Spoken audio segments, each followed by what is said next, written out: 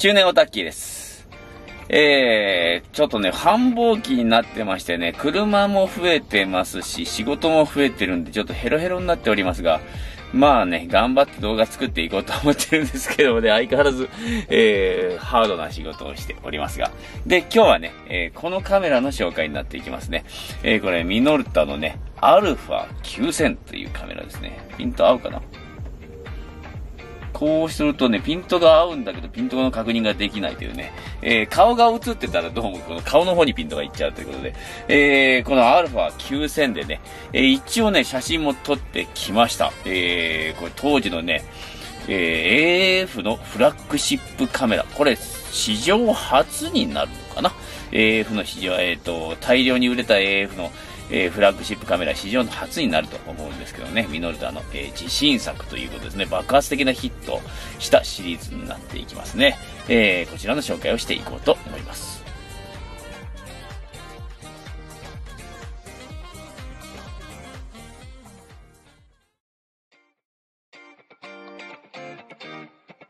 はい、このアルファ9000なんですけどもね、ジャンクでね、安く仕入れたんですけど、いくらで仕入れたか忘れちゃったんですけど、ちゃんと動くやつはね、結構な値段するんですけどね、僕のはね、えっと、動かないやつを買って直しました。えー、でね、どんなカメラだったのか。まず、えー、こちらはね、えー、っと、アワネカメラさんっていうね、ところちょっと見てますけどね。えミノルタが α7000 に次いで発売したオートフォーカス一眼レフカメラである。α7000 は誰にでも使える自動化が進んだカメラであり、オートフォーカス一眼レフカメラの基本形を築いたという面で、歴史的に大きな意味のあるカメラだと言える。一方の α9000 はオートフォーカス一眼レフカメラがマニアやプロの要求に応えられる可能性を示したという面で、 これも歴史的に大きな意味のあるカメラだと言いたいということですね。えー、発売がね、1985年9月。えー、シャッターは電子制御縦走り金属膜。えー、シャッター速度バルブ30秒から2000分の1までですね。えー、スピードライト同調は100分の1。えー、TTL 中央重点平均速攻なんですけども、一応スポット速攻も選べます。えー、で、プログラム AE、絞り優先 AE、シャッター速度優先 AE、マニュアルということですね。マウントはミノルタ A マウントになりますね。えー、このカメラ1985年の9月に発売されたということで、価格は確か12万8000円ボディのみだったと思うんですけども、えー、その当時のフラッグシップカメラの価格を考えると安いと言えますね。えー、キヤノンの、えっ、ー、と、ニュー F1、えー、ニュー F1 は、えー、マニュアルのみのね、えっ、ー、と、ニュー F1FN ってやつですね。えー、が、えー、14万8000円定価で、後期型になると17万8000円になるんだったかな。えー、これが1985年前後、えー、は前期型ですけど、えー、の価格なのでね、それオートフォーカスが使えて2万円安いということで結構バリュープラスだったと思うんですが、えー、まあ安いなりのところは当然あるんですね。まあ例えばね、もう巻き上げのハンドルね、えー、これはね、もう鉄製の適当な形したレバーにね、プラスチックのカバーをかぶせてあるだけとか、あとね、この軍艦部とかもね、もう全部オールプラなんですね。これも落としたらもう確実にバキバキに割れます。えーとね、ミノルタ X7 とかね、XGE とか、あの辺と質感は大差ないです。えー、質感は大差、大差ない。もう本当にプラスチッキーな、えー、カメラになりますね。えー、でね、えー、こう面白い、えー、とこもいろいろあります。えー、これがね、さっき巻き上げハンドルって言いましたけど、これね、オートフォーカスの、えー、一眼レフカメラでね、この巻き上げハンドルがあるの多分こいつだけなんじゃないかな。他聞いたことないですよね。えー、巻き戻しが手動のやつはね、そこそこにありますが、えー、まあ、例えばニコン F4 とかもね、巻き戻しハンドルありますけど、でも巻き上げ、フィルム巻き上げハンドルがあるのは多分ないと思いますね。で、巻き戻しもこれ手動なんですよ。巻き戻しはもう本当に完全に手動のみで、この円盤みたいなやつが出てきてね、くるくる回せるようになります。これも本当に構造的に面白いですね。えー、で、この当時としては画期的なのは、やはり速攻モードが選べる。えー、これ、アベレージ、えー、スポット、えー、HS とありますけど、これ AE6、えーと、何のモードだったっけこれ。えー、忘れちゃった。この間まで覚えてたのに忘れちゃった。えー、僕使わないんでね、あの、マニュアルで取っちゃうんで使わないんでね、すぐに忘れるんですけどね。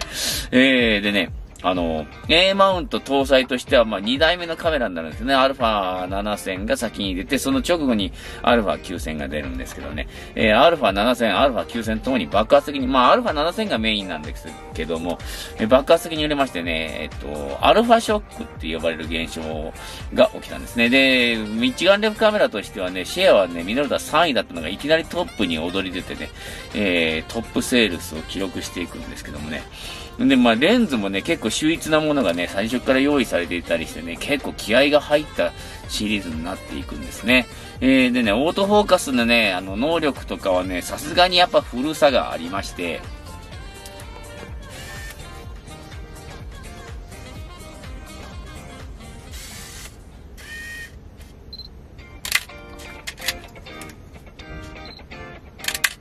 まあ、使えないことはないレベルなんですけどもね、ファインダーはね、非常に美しいです。これ、ミノルタ独自のね、アキュートマットファインダーっていうやつでね、ファインダーは本当に素晴らしい見えをします。オートフォーカスはね、まあ、我慢して使う形になります。中央一点で、合焦速度も遅いことは遅いんですけど、まあ、使えないことはないと思いますね。えー、で、まあ、と、多彩なね、AE を搭載はしておるんですけども、えー、選択だ、モードがね、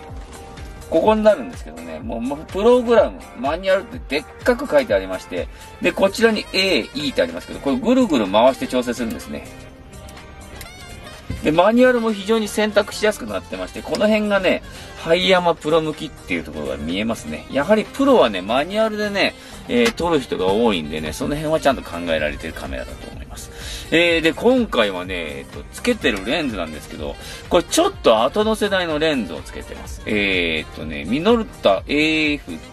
あ、違う、ミノルタズーム35105。F3.5 から4.5、カッコ22、えこれは最小絞りですけどね。えー、というレンズなんですけど、これね、カメラのキタムラ鳴門店で500円で買ってきたジャンクになるんですけども、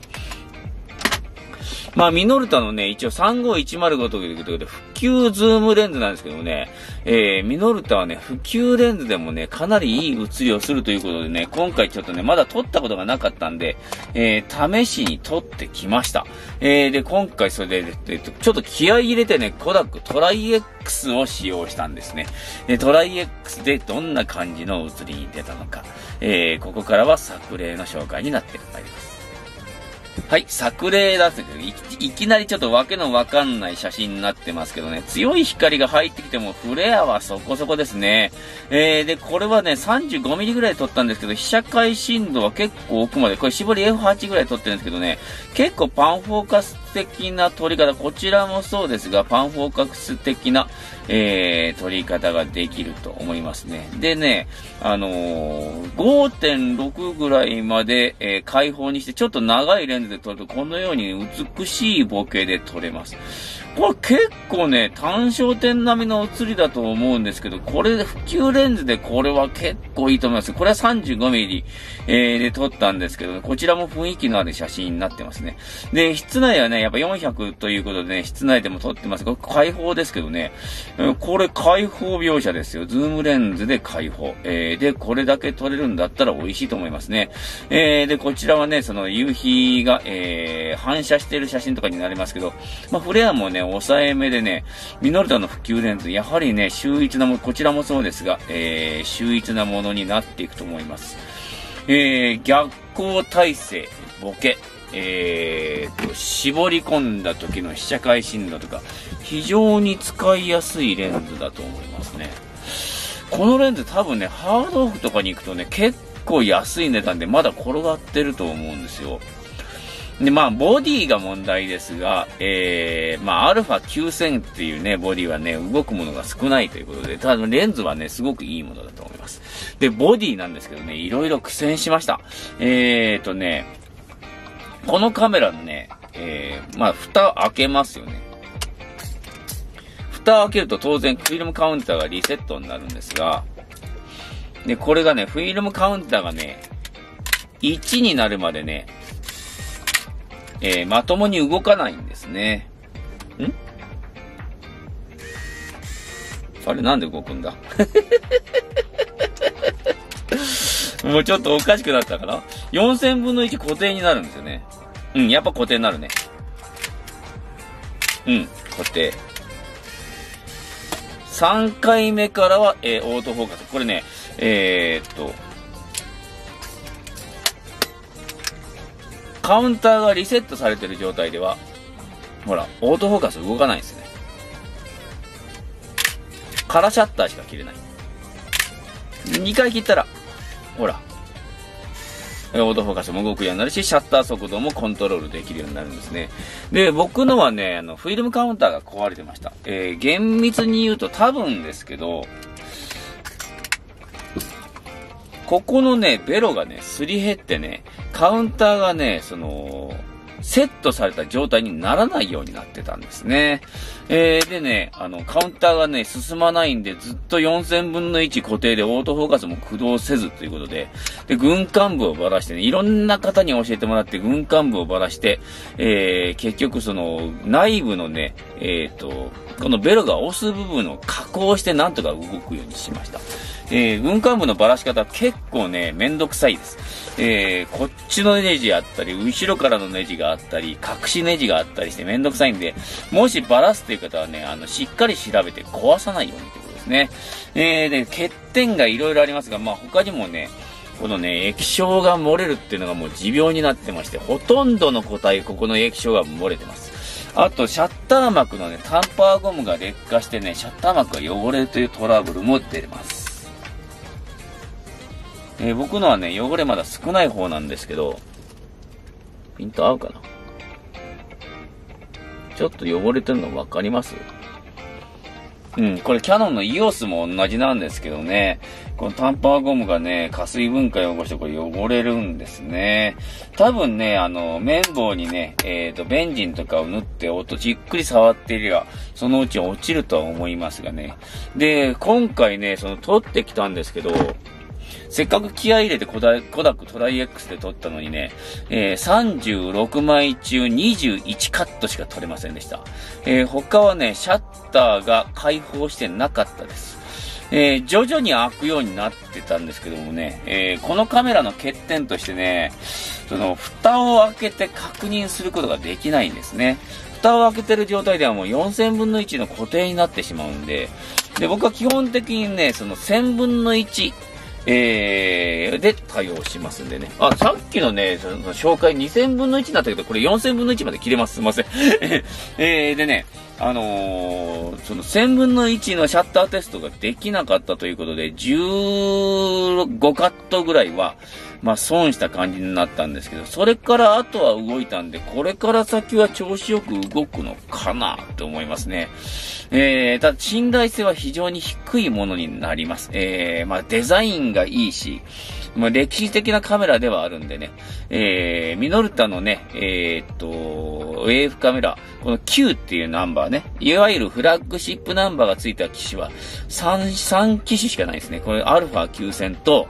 α9XI と、えー、っと、α9 ですね。この3台しかないみたいなんで、その3台とも揃えたいとかいう、コレクター魂がある方はぜひね、狙って、えー、くださいということですけど、えー、ちゃんと動くやつは結構な高値になりますので、覚悟した方がいいと思います。ほとんど動かないジャンクばっかりだと思いますね。えー、私のはね、本当にね、えっ、ー、と、たくさんの方が協力して、えー、くださったおかげでね、ちゃんと動くようになりました。えー、本当に皆様ありがとうございました。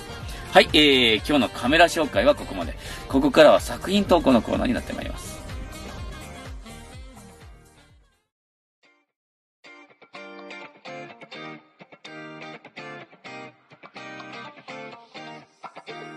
はい、作品投稿のコーナー。今日のトップバッターは、池さんの投稿ですね。えー、おたきさんお疲れ様です。毎回楽しく拝見しています。久しぶりの投稿写真です。え、タイトルが、えー、木漏れ日山のつづじ。そのまんまのタイトルですが、ということですね。えー、オリンパス OM4、イーズ以降、オート T135mm F2.8、富士カラー C200 で捉えております。自家現像してエプソン GT9800F で自動調整でスキャンしました。粒子は粗いですが10本程度現像してひとまず納得できる色になったと思います。えー、現在35度で6分30秒、漂白定着35度で15分。よろしくお願いします。結構時間かかるんですね、カラー自家現像。えー、僕はね、自家現像、カラーの自家現像は設備を持っていないのでやろうとも思ってないです。やろうとも思ってないですけど、まあ現像液もたくさんいる、えー、白黒とかね、もの、まあたくさんいるんでね、もう、もう、あの、初めからやる気はないんですけど、すごいですね、自家現像。えー、でね、まあ粒子が確かに流浄感は出てるんですけどもね、色は確かにしっかり出てますね。うーん、なんとも言えないところですが、これはちょっと自家現像じゃないと比較してみたい気もしますが、ちょっと流浄感で、えー、シャープさが出てないようにはまだ見えますね。えー、こういう場合ね、その、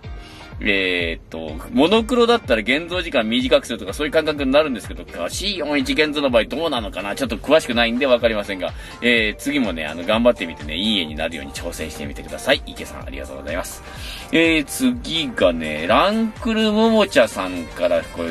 えー、っと、組写真ですね。えー、いつも楽しく拝見しています。ランクルモブチャです。今回は作品投稿させていただきます。オタキさんも大好きなオートタクマ 55mmF2 での作品です。えー、タイトルは路地裏にて3枚の組写真となります。えー、使用カメラ朝日ペンタックス SL。露出系はついてないタフなモデルです。とにかくこのレンズの描写力に惚れ、ただいま持ち出し回数ナンバーワンの大好きなレンズです。フィルムは富士から100、近所ぶらっと歩いて撮ったものです。毎日暑い日が続きますが、お体にお気をつけて。ということなんですけどもね、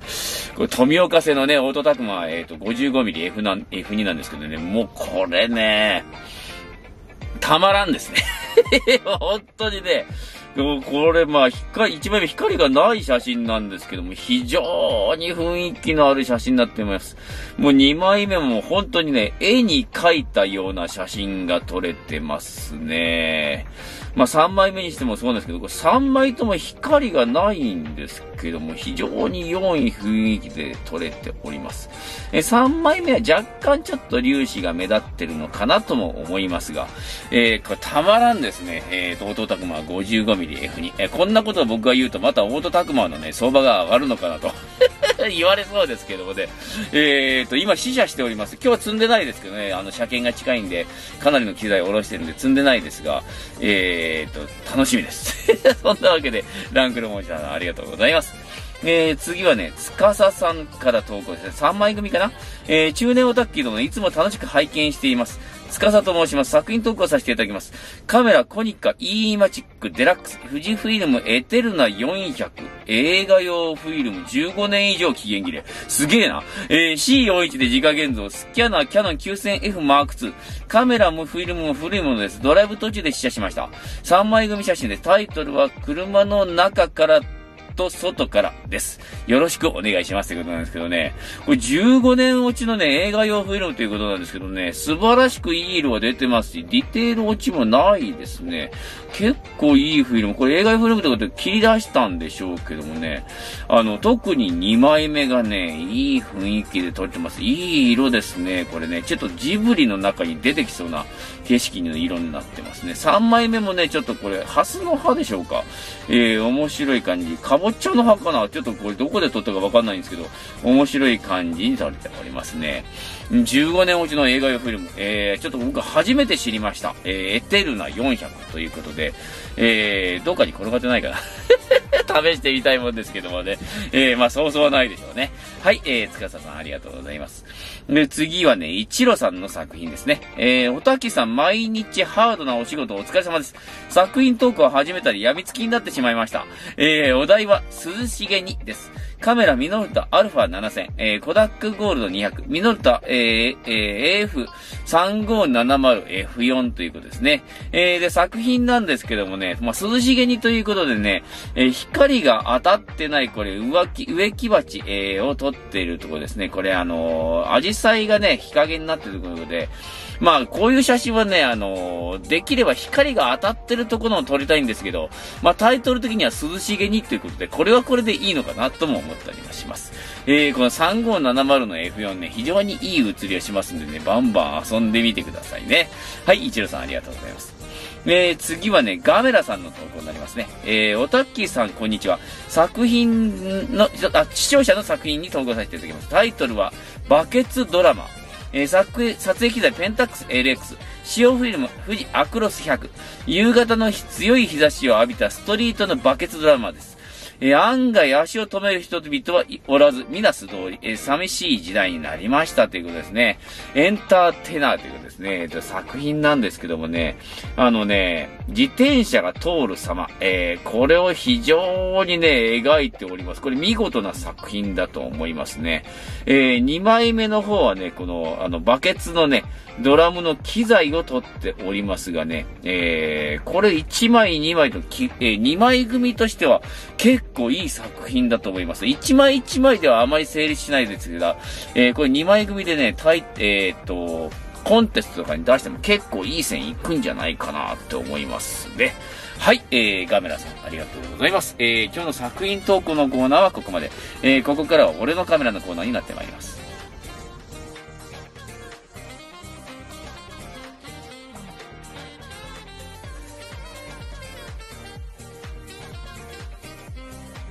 はい、俺のカメラのコーナー。今日はね、えー、っと、モッシダディさんの俺のカメラですね。えー、俺のカメラのコーナーに投稿します。えー、発売当時はカメラが好きな親父でも買えなかったフラッグシップ機のニコン F を半世紀以上経った今、やっと満足できる答えを手に入れることができました。さすがにシャッタースピードは狂っていると思われますが、普通に撮影する分には何ら問題なさそうです。この時代のフィルムカメラの開発に関わっていた先人たちの情熱や思いが伝わってきそうなほど、たくさんの名機が今の私の心を掴んで話しません。今の電子部品だらけのフラッグシップ機は半世紀後に使えるのでしょうか？使えないでしょうね。えー、材質や組み付け精度にこだわったフルメカニカルカメラ、きちんとしたメンテナンスさえ施していれば、孫の世代でも現役で活躍できることが可能なスペックを持っている時代を超えた匠の手による一品なんだと私も改めて感じました。大切に使い続けていこうと思います。ということなんですけどね。これ1枚目がね、これ非常に面白い。あの、名機の肖像のね、えっ、ー、と、ニコン F バージョンのやつをね、えー、出してあります。これね、レンズキャップもね、あの、当時物のね、ニッコールのね、えー、当時物のキャップ、これアルミのね、あの、変形でね、あの、挟まるやつなんですけどもね。で、えっ、ー、と、ニコン F i レベルと、えー、ニコン F フォトミック FTN、えー、2台をお持ちということで、これ見事なツーショットになっております。えー、シャッタースピードが狂っているという件なんですけどもね、あの、250分の1ぐらいだったら、だいたいね、古いものでも実用に耐える速度が出ていることが多いです。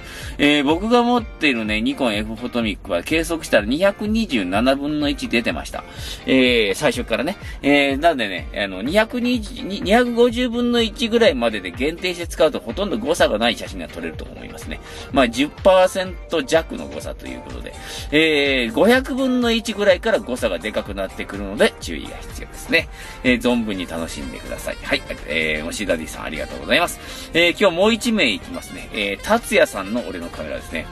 えー、おたきさん、いつも楽しく動画拝見しております。今日も俺のカメラに投稿させていただきます。カメラはライカのオリジナル一眼レフである R8 です。えー、これまではミノルタの XE、XD ベースに作られていましたが、この R8 で完全オリジナルに戻りました。そのデザインからおにぎりなんて言われたりしますが、大きい割に握りやすく、シャッター音や巻き上げなど、細部にわたって質感が感じられます。なかなか数が少なく、高値なこのカメラもジャンクとして激安で購入しましたが、単にミラーアップレバーが入っていただけでした。これは面白いね。えー、外観も非常に綺麗なカメラで最高にお得でした。今、ベルビアで撮影しているので、撮り終わったら作品投稿させていただきます。ぜひぜひよろしくお願いしますね。えー、これね、確かにおにぎり形状のね、ライカ R8。これ、あのー、作り込みからしてやはりね、ドイツ製だなっていうのがよくわかりますね。レンズも非常にね、いい感じですね。えー、っと、これズームレンズの2870になるかな。えー、バリオゾナーになって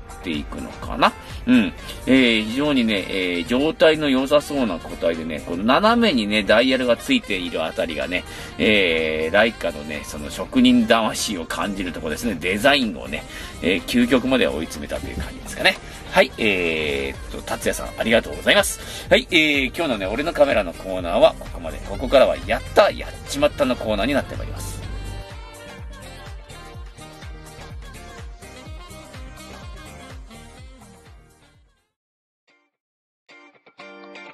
はい、やったやっちまったのコーナー。えー、今日は夢旅人さんのやっちまったですね。えー、お疲れ様です。久々の投稿、やっちまった絵の投稿です。コンパクトカメラヤシカズーム EZ105。フィルムはヤフオクで落札した期限切れのフィルム。自分の中では大丈夫だろうという気持ちで撮影。えー、カメラの北村で現像してもらい、自宅でスキャン、パソコンで写真を見ると、昭和初期に撮影したような写真になりました。これはこれでありだと思いますが、えー、期限切れのフィルムのカラーは難しいですということですね。えー、でね、作品もね、えー、送ってくれる実際の写真です。えー、茨城空港にある F4 です。余談ですが、カメラの店長にカメラを見せたら驚いてました。APS フィルム現像に出しました。3週間後にできるです。気に入った写真があればまた投稿しますということなんですけどね。いや、確かにこれはね、相当感動落ち、えー、まあ、変色。多分フィルムベースもね、色が変わってるんだと思いますね。スキャンどんどんしにくくなって黒っぽくなっていくんですよね。まあでもこれはこれでありなのかなと思いますね。特にね、被写体が F4 なんでね、前時代の戦闘機なんで、まあこれはこれでありなんだと思いますよ。ベトナム戦争の当時の写真とかね、行ったりしちゃってね、全然違うんですけどね。まあそんなわけでね、えー、っと、今日のね、動画は、えー、終わっていきます。えー、っとね、教えておたきさんのコーナーにね、あの、投稿来ておりますが、えー、っと、説明用の機材を積んでないので、また来週に持ち越しになっていきます。えー、で、来週はね、ちょっとね、まだね、えー、よくわかんないんですけどもね、いろんなカメラで取り上がってるんで、まあ、できることはできると思います。何で取り上がったんだとかな忘れちゃった。ほんでね、えー、まあ、開封動画も入っていくと思うんですけど、もしかしたら開封ライブになっても、この動画が出るときには、えー、公開済みになってるかもしれませんが、えちょっとね、繁忙期なんでね、結構バタバタしてるんでね、えー、いろいろ前後していくとは思うんですけどね、えー、頑張ってね、動画を作っていきますんで、また応援をよろしくお願いします。えー、でね、あのー、高評価、コメント、えっ、ー、と、チャンネル登録、ぜひぜひお願いしますね。チャンネル登録ね、えー、かなりね、あの、ペースが落ちておりますがね、頑張って5000名を目指していっておりますので、チャンネル登録よろしくお願いします。えー、高評価はね、まあ、いつも言ってますけどね、あの、ポチッと押すだけなんで、今すぐ押していただければと思います。で、で、コメントの方なんですけどもね、えー、ちょっと繁忙期ということもあってね、返しづらい状況になっておりますが、頑張って全部返していこうと思っておりますので、えーえー、何か、えー、感じることなどありましたら、じゃんじゃんコメントの方お願いします。はい、えー、今日の動画はここまでになります。えー、また次の動画でお会いいたしましょう。えー、それでは皆様ごきげんよう。さよなら。